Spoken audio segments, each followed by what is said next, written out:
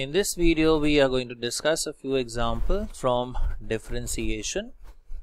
The first one here is y is equal to x square plus 7x minus 9 divided by x square minus 1. Now here we find the derivative or obtain the derivative using the quotient rule that is derivative of u by v. Okay? And the formula is v into derivative of u minus u into derivative of v divided by v square.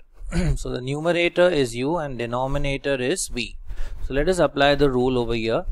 And we obtain dy by dx as so we differentiate with respect to x we get dy by dx is equal to first the denominator that is x square minus 1 into derivative of the numerator that is x square plus 7x minus 9 minus now we reverse the order.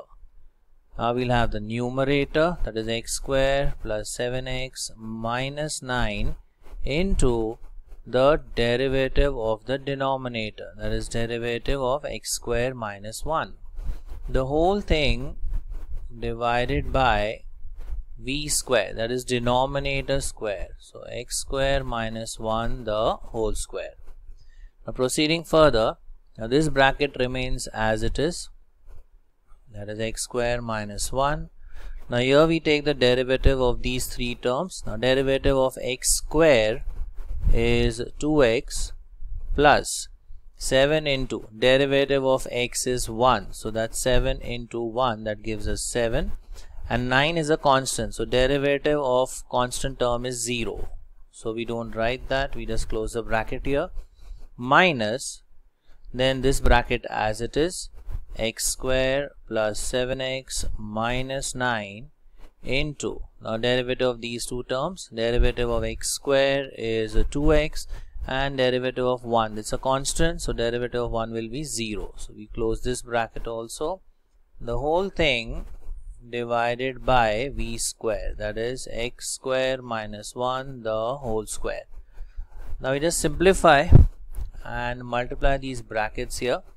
x square into 2x so that's 2x cube x square into 7 that's 7x square minus 1 into 2x is minus 2x minus 1 into 7 is minus 7 now here also 2x into x square is 2x cube but there's a negative sign here. So it's minus 2x cube. 2x into 7x that's 14x square again a negative sign here. So minus 14x square 2x into minus 9 is minus 18x and this negative sign is here. So we have positive 18x the whole thing divided by v square. That is x square minus 1 the whole square. Now 2x cube cancels with 2x cube. 7x square minus 14x square. So that's minus 7x square minus 2x plus 18x so 18 minus 2 gives us 16x and the constant term here is minus 7 the whole thing divided by x square minus 1 the whole square. So this is the value for dy by dx. Now the second question. y is equal to x upon x plus 3 so again applying the quotient rule we obtain dy by dx. We begin with the denominator that is x plus 3 into derivative of numerator that is derivative of x minus the numerator that is x into derivative of denominator that is derivative of x plus 3 the whole thing divided by v square. That is x plus 3 the whole square. So proceeding further we have x plus 3 as it is into derivative of x is 1 minus x into. Now derivative of x is 1 and derivative of 3 is 0 right? So this part derivative is 1 derivative x is 1 and derivative of 3 is 0 so we get a total of 1 over here divided by x plus 3 the whole square. So let's simplify further and see what we obtain. Now 1 into x plus 3 that's x plus 3 1 into x that's x. So we have minus x over here. The whole thing divided by x plus 3 the whole square. Now x cancels with minus x so we have the final answer as 3 upon x plus 3 the whole square. So this is the value for dy by dx.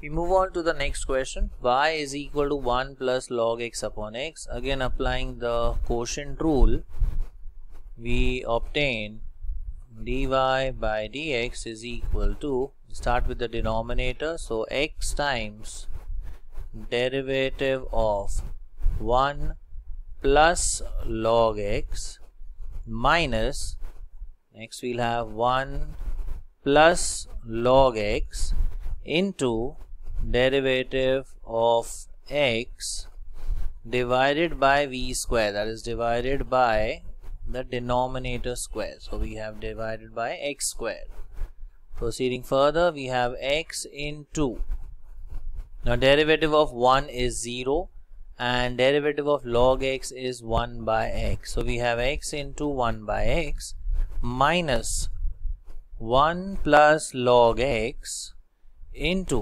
derivative of x is 1 the whole thing divided by x square now we just have to simplify this. So we simplify this. X cancels with x. So we have 1. Now 1 into 1 plus log x. And there's a negative sign here. So sign would change. So 1 into 1 that's 1 but a negative sign here makes it minus 1. 1 into log x is log x again a negative sign here so this becomes minus log x the whole thing divided by x square so 1 cancels with minus 1 so therefore we have dy by dx is equal to minus log x divided by x square. So this is the value for dy by dx